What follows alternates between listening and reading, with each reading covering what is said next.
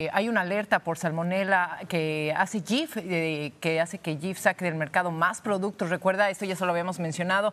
Esta acción se produce tras anunciarse la semana pasada del retiro de más de 40 versiones de su mantequilla de maní, del peanut butter. Entre las nuevas afectaciones está una vendida en los supermercados Albertsons, así que cuidado.